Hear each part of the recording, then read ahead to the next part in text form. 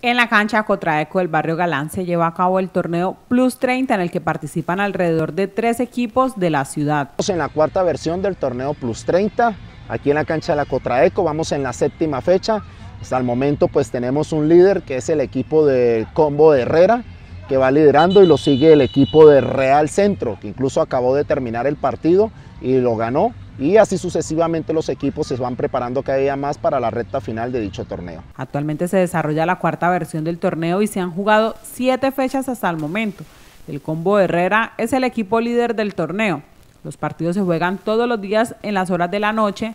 Los equipos ganadores recibirán reconocimientos económicos y medallas. Bueno, estos partidos los jugamos entre semana en las horas de la noche y entre semana lo que son los sábados arrancamos a partir de las 5 de la tarde y los días domingos a partir de las 2 de la tarde.